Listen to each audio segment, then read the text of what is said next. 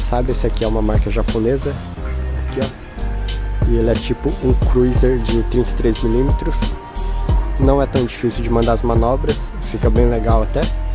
Esse truck aqui é um Dynamic com a base do BRT e uma Oak Wheels aqui. E esse shape aqui, para quem sabe, né, era meu. Esse aqui é um BRT com a base do Dynamic, Oak Wheels aqui também. E uma tape normal e o shape aí. E ele tem esse caixote aqui e esse banco da Black River.